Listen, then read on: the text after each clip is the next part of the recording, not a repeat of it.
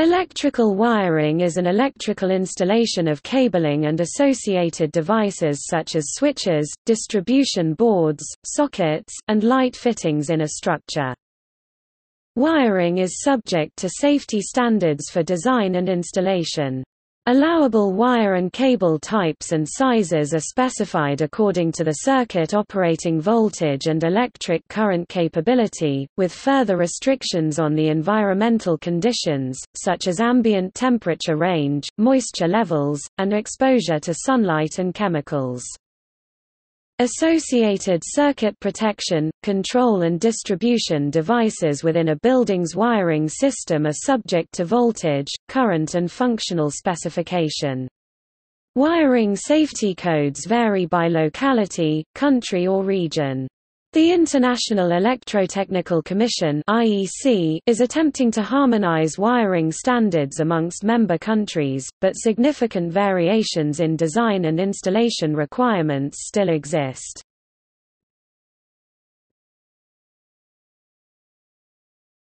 Topic: Wiring codes of practice and regulations.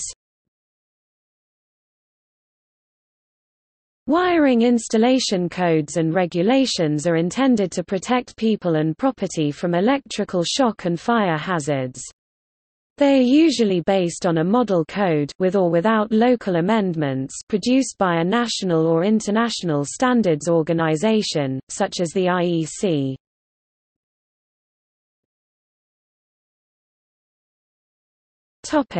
Australia and New Zealand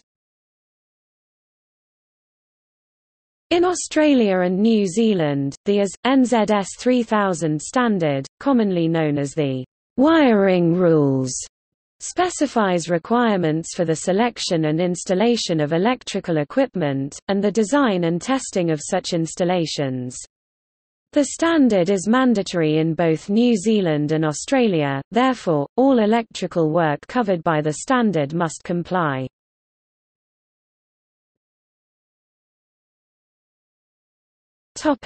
Europe In European countries, an attempt has been made to harmonize national wiring standards in an IEC standard, IEC 60364 electrical installations for buildings.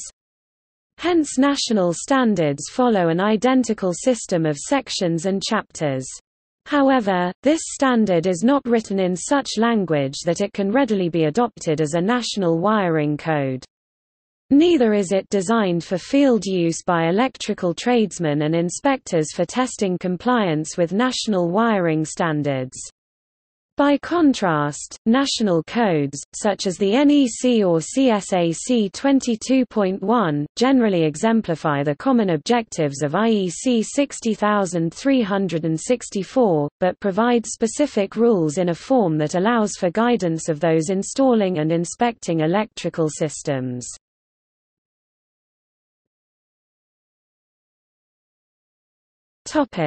Germany In Germany, DKE the German Commission for Electrical, Electronic and Information Technologies of DIN and VDE is the organization responsible for the promulgation of electrical standards and safety specifications. DIN VDE 0100 is the German wiring regulations document harmonized with IEC 60364.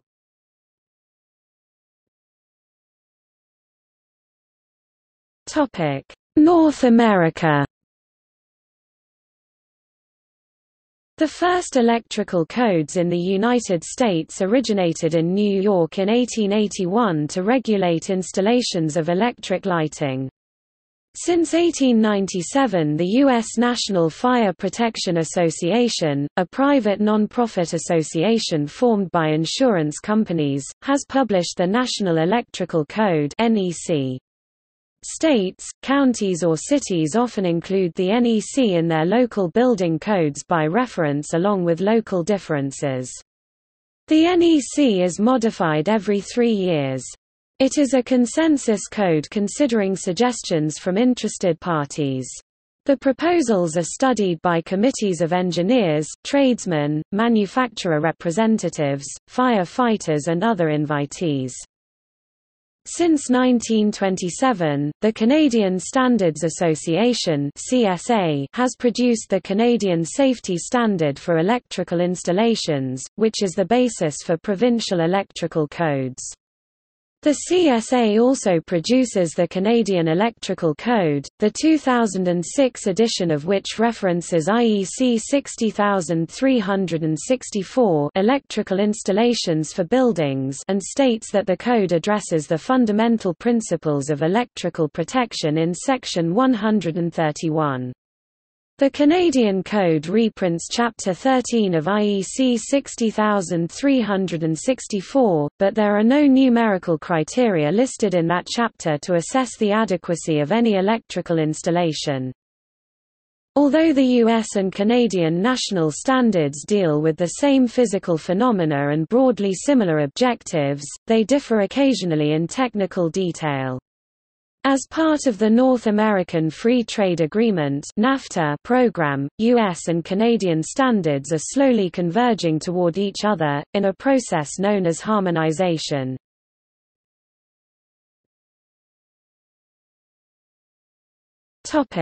United Kingdom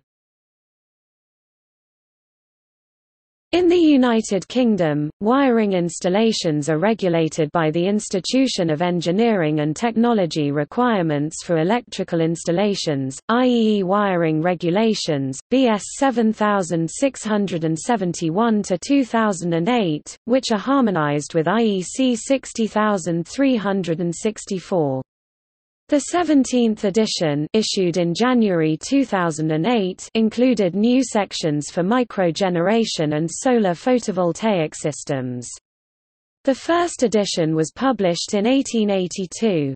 In 2018, the 18th edition of the Wiring Regulations BS 7671-2018 was released and came into force in January 2019. Although BS 7671 is the standard to which the UK electrical industry generally adheres, compliance with BS 7671 is not a legal requirement.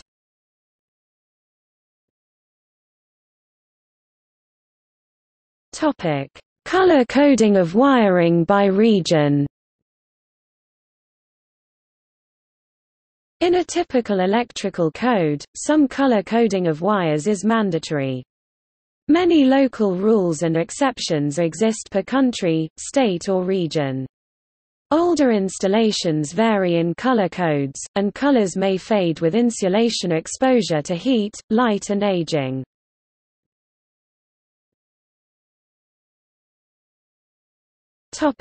Europe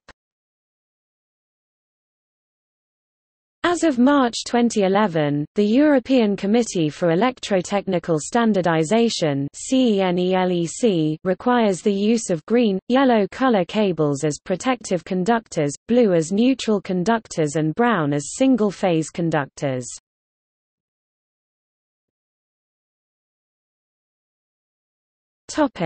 United States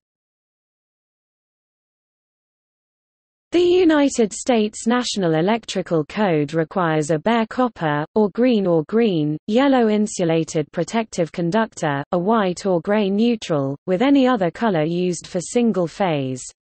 The NEC also requires the high leg conductor of a high leg delta or bastard leg system to have orange insulation, or to be identified by other suitable means such as tagging. Prior to the adoption of orange as the suggested color for the high leg in the 1971 NEC, it was common practice in some areas to use red for this purpose. The introduction of the NEC clearly states that it is not intended to be a design manual, and therefore creating a color code for ungrounded or hot conductors falls outside the scope and purpose of the NEC. However, it is a common misconception that hot conductor color coding is required by the code.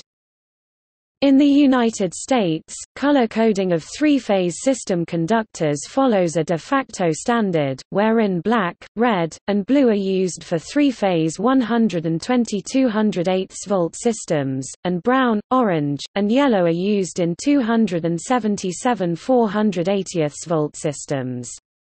In buildings with multiple voltage systems, the grounded conductors neutrals of both systems are required to be separately identified and made distinguishable to avoid cross-system connections. Most often, 120 208 volt systems use white insulation, while 277 480 volt systems use gray insulation, although this particular color code is not currently an explicit requirement of the NEC. Some local jurisdictions do specify required color coding in their local building codes, however.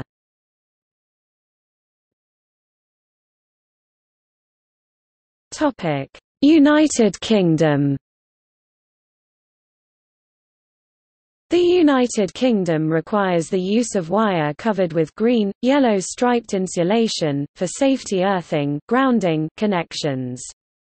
This growing international standard was adopted for its distinctive appearance, to reduce the likelihood of dangerous confusion of safety earthing grounding wires with other electrical functions, especially by persons affected by red-green color blindness. In the UK, phases could be identified as being live by using coloured indicator lights, red, yellow and blue. The new cable colors of brown, black and gray do not lend themselves to colored indicators. For this reason, three-phase control panels will often use indicator lights of the old colors. Topic wiring colors flexible cordage and fixed cabling Topic Wiring methods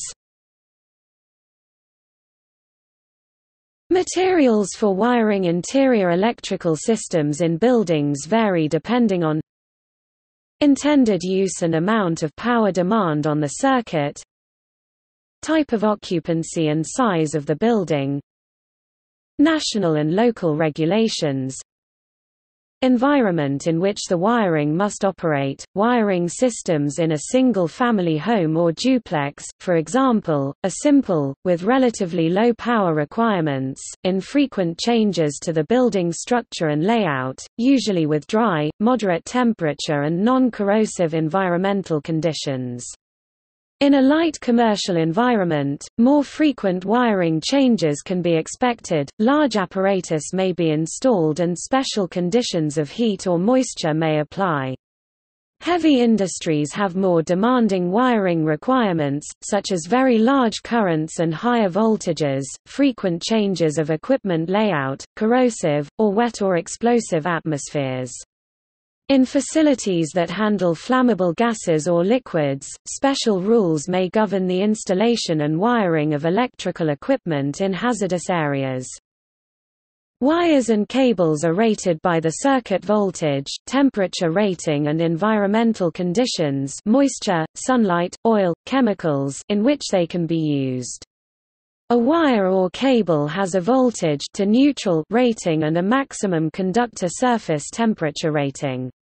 The amount of current a cable or wire can safely carry depends on the installation conditions.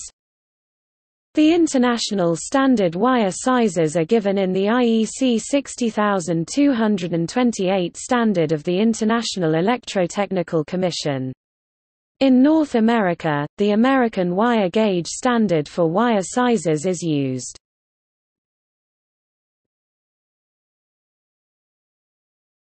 Topic: Cables.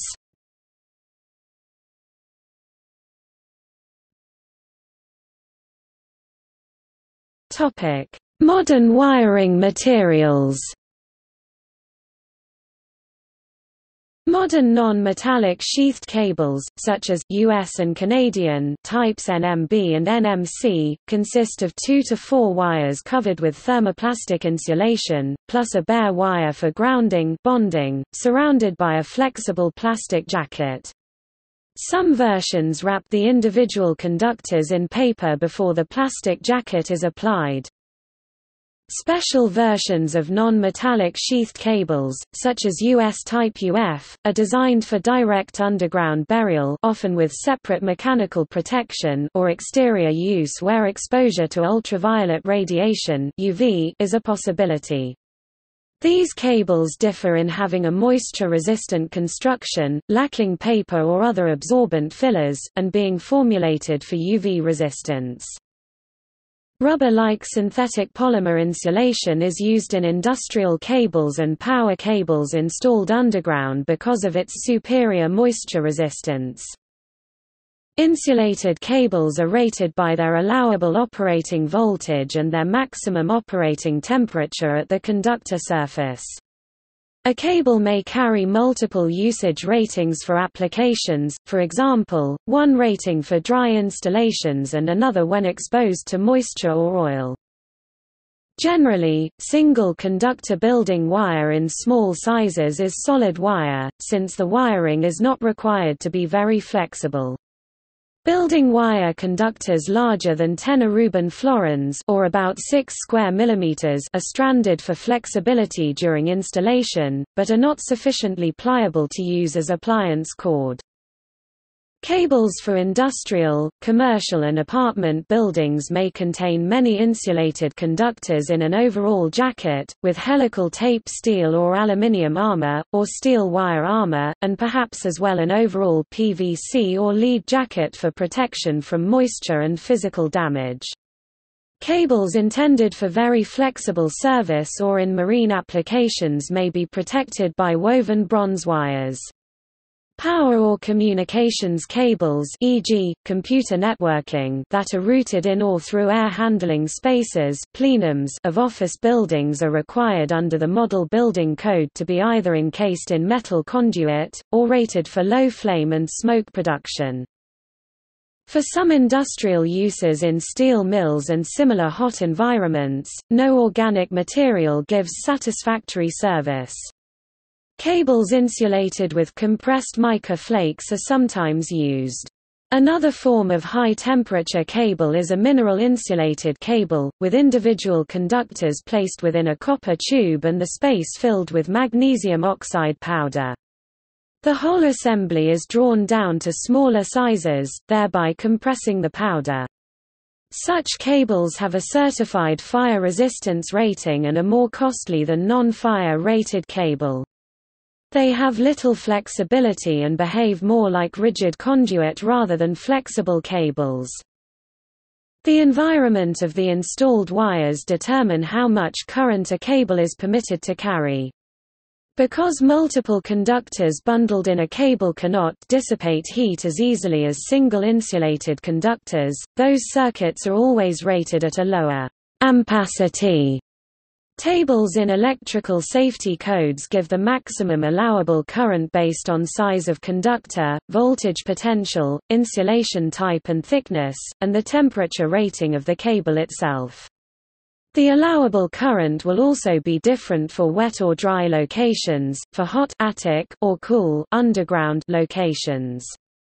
In a run of cable through several areas, the part with the lowest rating becomes the rating of the overall run. Cables usually are secured with special fittings where they enter electrical apparatus, this may be a simple screw clamp for jacketed cables in a dry location, or a polymer gasketed cable connector that mechanically engages the armor of an armored cable and provides a water-resistant connection. Special cable fittings may be applied to prevent explosive gases from flowing in the interior of jacketed cables, where the cable passes through areas where flammable gases are present. To prevent loosening of the connections of individual conductors of a cable, cables must be supported near their entrance to devices and at regular intervals along their runs.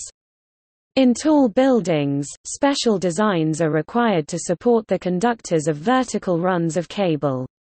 Generally, only one cable per fitting is permitted, unless the fitting is rated or listed for multiple cables. Special cable constructions and termination techniques are required for cables installed in ships. Such assemblies are subjected to environmental and mechanical extremes. Therefore, in addition to electrical and fire safety concerns, such cables may also be required to be pressure resistant where they penetrate a vessel's bulkheads. They must also resist corrosion caused by salt water or salt spray, which is accomplished through the use of thicker, specially constructed jackets, and by tinning the individual wire stands. In North American practice, an overhead cable from a transformer on a power pole to a residential electrical service usually consists of three twisted triplex conductors, with one being a bare neutral conductor, with the other two being the insulated conductors for both of the two 180 degree out of phase 120 volts line voltages normally supplied. The neutral conductor is often a supporting messenger Steel wire, which is used to support the insulated line conductors.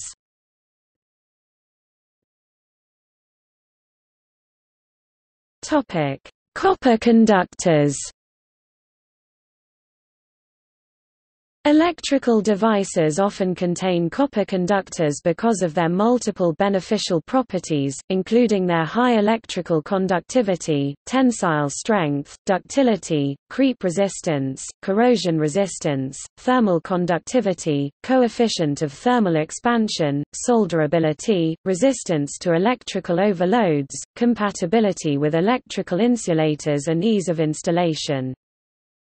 Despite competition from other materials, copper remains the preferred electrical conductor in nearly all categories of electrical wiring. For example, copper is used to conduct electricity in high, medium and low voltage power networks, including power generation, power transmission, power distribution, telecommunications, electronics circuitry, data processing, instrumentation, appliances, entertainment systems, motors, transformers, heavy industrial machinery and countless other types of electrical equipment.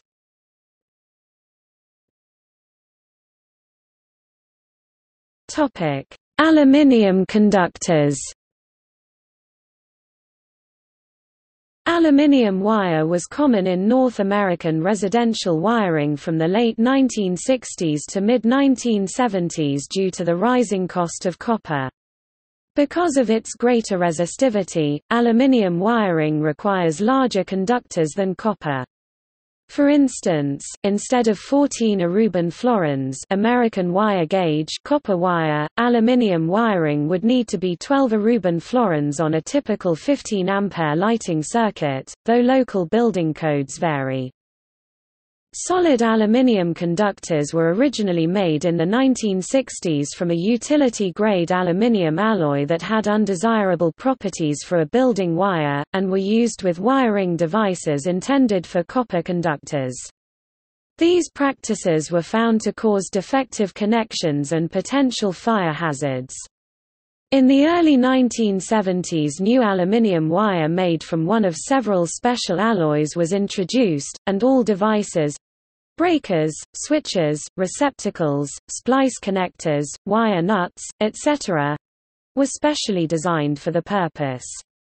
These newer aluminium wires and special designs address problems with junctions between dissimilar metals, oxidation on metal surfaces and mechanical effects that occur as different metals expand at different rates with increases in temperature. Unlike copper, aluminium has a tendency to creep or cold flow under pressure, so older plain steel screw-clamped connections could become loose over time. Newer electrical devices designed for aluminium conductors have features intended to compensate for this effect. Unlike copper, aluminium forms an insulating oxide layer on the surface. This is sometimes addressed by coating aluminium conductors with an antioxidant paste containing zinc dust in a low-residue polybutene base at joints, or by applying a mechanical termination designed to break through the oxide layer during installation. Some terminations on wiring devices designed only for copper wire would overheat under heavy current load and cause fires when used with aluminium conductors. Revised standards for wire materials and wiring devices such as the CO, ALR copper aluminium revised designation were developed to reduce these problems. While larger sizes are still used to feed power to electrical panels and large devices, aluminium wiring for residential use has acquired a poor reputation and has fallen out of favor. Aluminium conductors are still heavily used for bulk power distribution and large feeder circuits with heavy current loads, due to the various advantages they offer over copper wiring. Aluminium conductors both cost and weigh less than copper conductors, so a much larger cross-sectional area can be used for the same weight and price. This can compensate for the higher resistance and lower mechanical strength of aluminium, meaning the larger cross-sectional area is needed to achieve comparable current capacity and other features. Aluminium conductors must be installed with compatible connectors and special care must be taken to ensure the contact surface does not oxidize.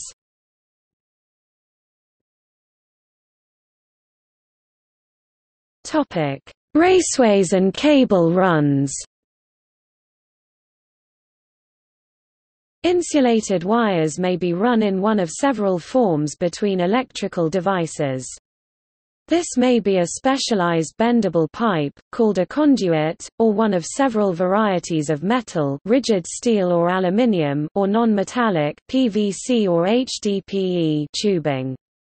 Rectangular cross-section metal or PVC wire troughs North America or trunking UK may be used if many circuits are required. Wires run underground may be run in plastic tubing encased in concrete, but metal elbows may be used in severe pulls. Wiring in exposed areas, for example factory floors, may be run in cable trays or rectangular raceways having lids. Where wiring, or raceways that hold the wiring, must traverse fire resistance rated walls and floors, the openings are required by local building codes to be fire-stopped. In cases where safety-critical wiring must be kept operational during an accidental fire, fireproofing must be applied to maintain circuit integrity in a manner to comply with a product certification listing. The nature and thickness of any passive fire protection materials used in conjunction with wiring and raceways has a quantifiable impact upon the ampacity derating, because the thermal insulation properties needed for fire resistance also inhibit air cooling of power conductors. Cable trays are used in industrial areas where many insulated cables are run together. Individual cables can exit the tray at any point, simplifying the wiring installation and reducing the labor cost for installing new cables. Power cables may have fittings in the tray to maintain clearance between the conductors, but small control wiring is often installed without any intentional spacing between cables. Local electrical regulations may restrict or place special requirements on mixing of voltage levels within one cable tray. Good design practices may segregate, for example, low-level measurement or signal cables from trays carrying high-power branch circuits, to prevent induction of noise into sensitive circuits. Since wires run in conduits or underground cannot dissipate heat as easily as in open air, and since adjacent circuits contribute induced currents, wiring regulations give rules to establish the current capacity ampacity. Special sealed fittings are used for wiring routed through potentially explosive atmospheres.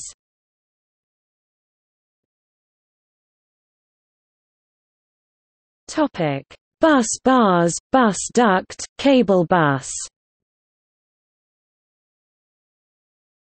For very high currents in electrical apparatus, and for high currents distributed through a building, bus bars can be used.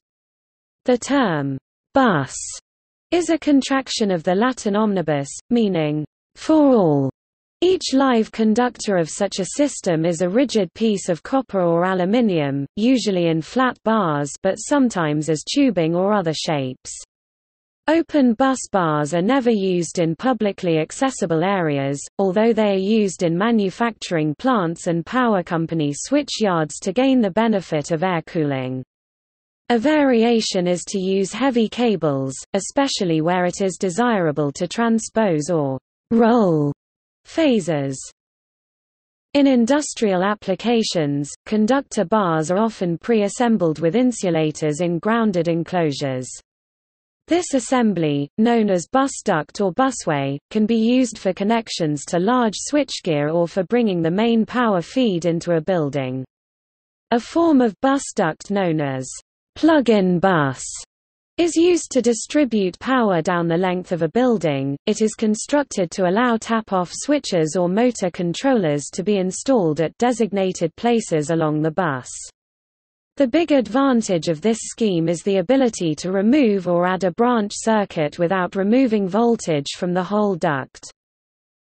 Bus ducts may have all-phase conductors in the same enclosure non-isolated bus, or may have each conductor separated by a grounded barrier from the adjacent phases segregated bus. For conducting large currents between devices, a cable bus is used. For very large currents in generating stations or substations, where it is difficult to provide circuit protection, an isolated phase bus is used. Each phase of the circuit is run in a separate grounded metal enclosure. The only fault possible is a phase-to-ground fault, since the enclosures are separated. This type of bus can be rated up to 50,000 amperes and up to hundreds of kilovolts during normal service, not just for faults, but is not used for building wiring in the conventional sense.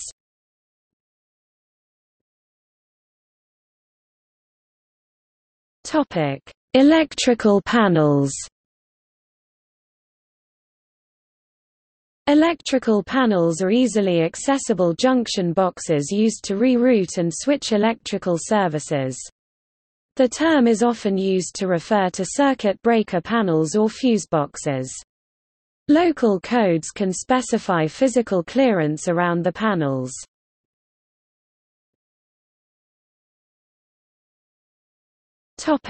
Degradation by pests Raspberry crazy ants have been known to consume the insides of electrical wiring installations, preferring DC over AC currents. This behavior is not well understood by scientists. Squirrels, rats, and other rodents may gnaw on unprotected wiring, causing fire and shock hazards. This is especially true of PVC-insulated telephone and computer network cables. Several techniques have been developed to deter these pests, including insulation loaded with pepper dust.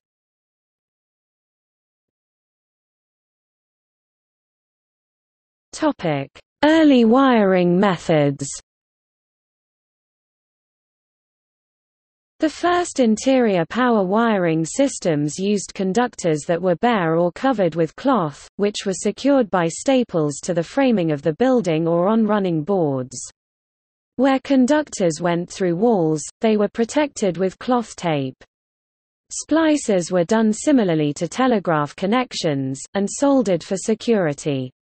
Underground conductors were insulated with wrappings of cloth tape soaked in pitch, and laid in wooden troughs which were then buried. Such wiring systems were unsatisfactory because of the danger of electrocution and fire, plus the high labor cost for such installations. The first electrical codes arose in the 1880s with the commercial introduction of electrical power, however, many conflicting standards existed for the selection of wire sizes and other design rules for electrical installations, and a need was seen to introduce uniformity on the grounds of safety. Topic knob and tube US The earliest standardized method of wiring in buildings, in common use in North America from about 1880 to the 1930s, was knob and tube K&T wiring. Single conductors were run through cavities between the structural members in walls and ceilings, with ceramic tubes forming protective channels through joists and ceramic knobs attached to the structural members to provide air between the wire and the lumber and to support the wires. Since air was free to circulate over the wires, smaller conductors could be used than required in cables. By arranging wires on opposite sides of building structural members, some protection was afforded against short circuits that can be caused by driving a nail into both conductors simultaneously. By the 1940s, the labor cost of installing two conductors rather than one cable resulted in a decline in new knob and tube installations. However, the U.S. Code still allows new K&T wiring installations in special situations some rural and industrial applications.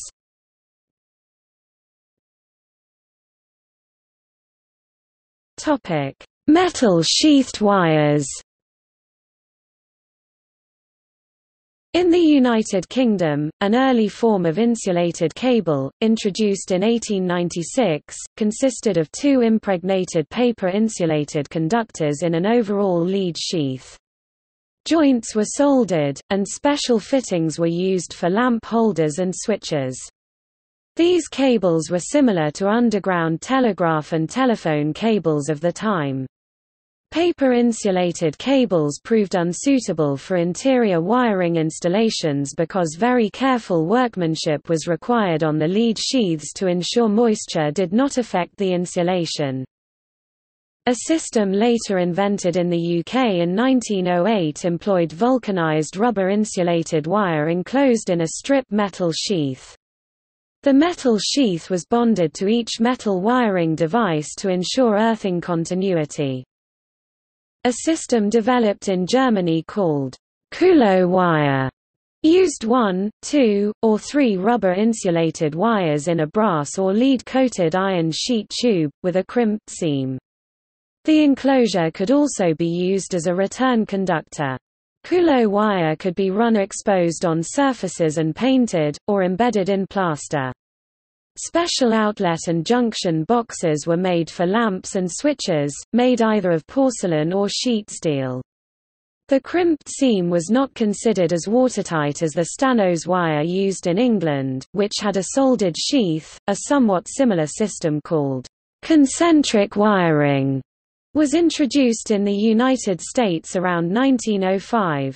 In this system, an insulated electrical wire was wrapped with copper tape which was then soldered, forming the grounded return conductor of the wiring system.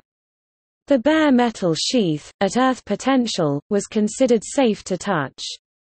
While companies such as General Electric manufactured fittings for the system and a few buildings were wired with it, it was never adopted into the U.S. National Electrical Code. Drawbacks of the system were that special fittings were required, and that any defect in the connection of the sheath would result in the sheath becoming energized. Other historical wiring methods Armored cables with two rubber-insulated conductors in a flexible metal sheath were used as early as 1906, and were considered at the time a better method than open knob and tube wiring, although much more expensive. The first rubber-insulated cables for U.S. building wiring were introduced in 1922 with U.S. Patent 1458803 Burley, Harry and Rooney, Henry, insulated electric wire, issued 12 June 1923, assigned to Boston Insulated Wire and Cable.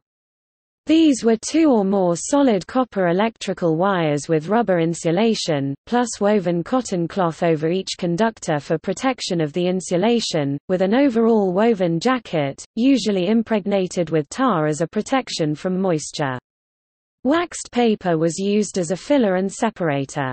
Over time, rubber-insulated cables become brittle because of exposure to atmospheric oxygen, so they must be handled with care and are usually replaced during renovations. When switches, socket outlets or light fixtures are replaced, the mere act of tightening connections may cause hardened insulation to flake off the conductors. Rubber insulation further inside the cable often is in better condition than the insulation exposed at connections, due to reduced exposure to oxygen. The sulfur in vulcanized rubber insulation attacked bare copper wire so the conductors were tinned to prevent this. The conductors reverted to being bare when rubber ceased to be used.